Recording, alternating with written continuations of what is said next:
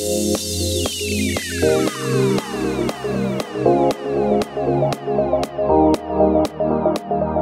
to another Igloo Imaging tutorial. This one's on a Penrose staircase. It's an optical illusion, so the staircase goes around in a circle, but it goes down, down, down, and then down to the start again. So it's a strange shape to draw. I've seen a lot of people drawing these with pencil and paper on YouTube, but I haven't seen many in Illustrator, probably because it's quite difficult to do. So you need to have a decent understanding of Illustrator to start this. Um, if you want that, then look at my other tutorials, the introductions to Illustrator. But if you know what you're doing, then please follow along. Um, select the color palette that you want, and, and the artboard can be any size you like. Um, so what we're going to start with is a rectangle. We're just going to hold down shift and draw ourselves a square. Then press V and we're going to rotate it holding shift 45 degrees and then press V and you want Pathfinder and Unite and it just resets the bounding box so you can just squash this shape down till it looks about right, similar to sort of that step there. Now what we want to do, we want to replicate this five times, but exactly on the end. so we want it to move onto this end.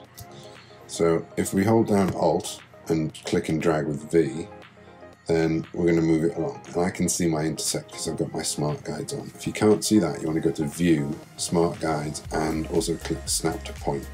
Those are the two that I have on. Now, because we've done it once in the exact right spot, we um, Command Y, you can see the outlines. We're going to just hit Command D, three, four, five, three times.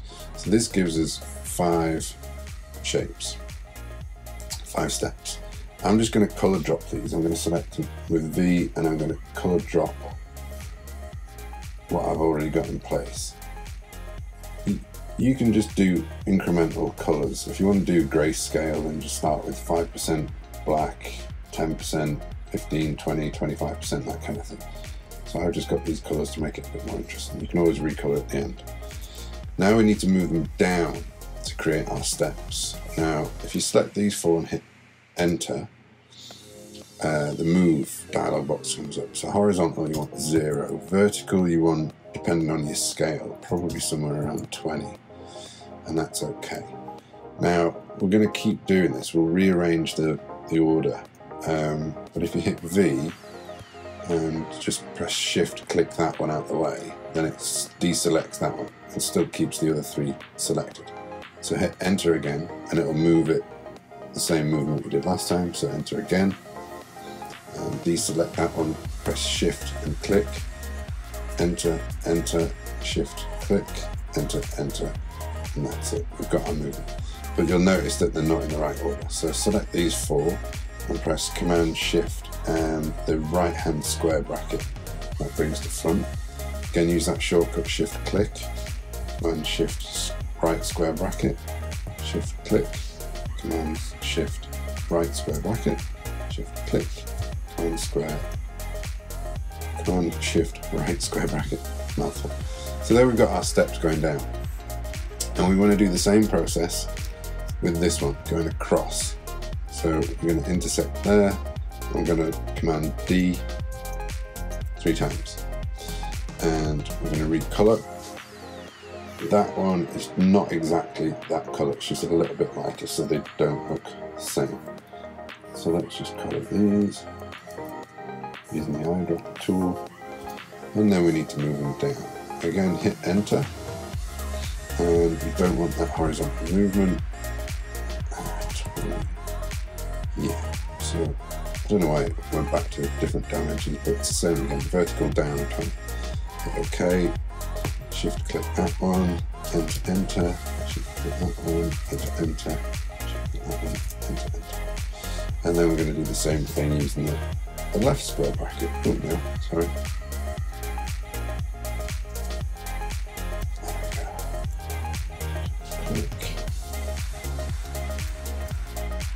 And then go to the back, so I'm trying to send them to the back and then up one. So we send it to the back, Command Shift left square bracket goes to the back, and then let go of Shift and just right square bracket and bring it up. So there we go, we're going down the steps, down the steps, and we want to do it this way, but this time only twice. So once I've done it once, just Command D, it does it again. Let's hit that enter again, saving the details. These might be slightly different, so they might not be 20, but we're going to tweak these in a second. So let's have a look. Shift, shift. And we want to see where we're up to here. So let's drag this one across.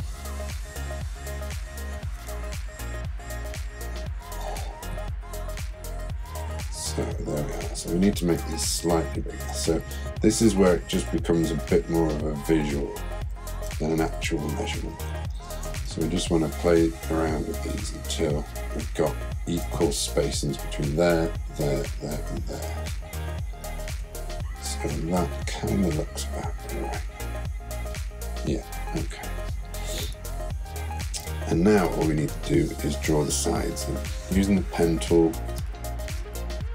we can start here on the anchor point, drag it down. In fact, we'll go the other way. We'll drag across, up,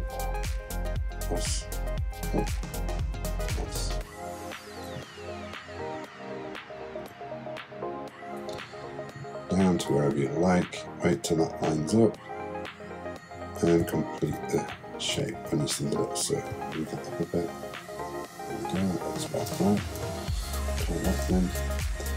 Pen tool, cross, up, with the shape, and down, hold down, shift if you want to stay in a straight line, there, and you see the circle, and complete the shape, colour drop, darkest. Now we're going to draw this internal shape here, so start from here, P, all the way to there, across to there,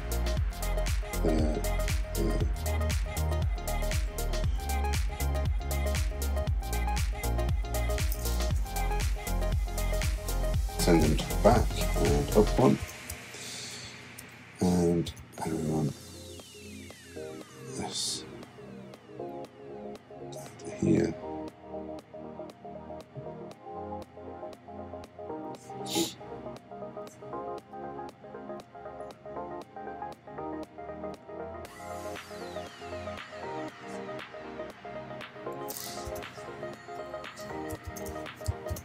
Back up one.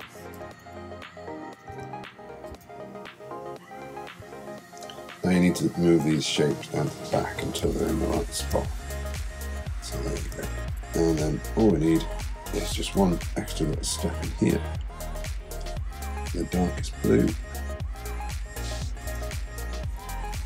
And then once you've done that, we can just recolor these last shapes.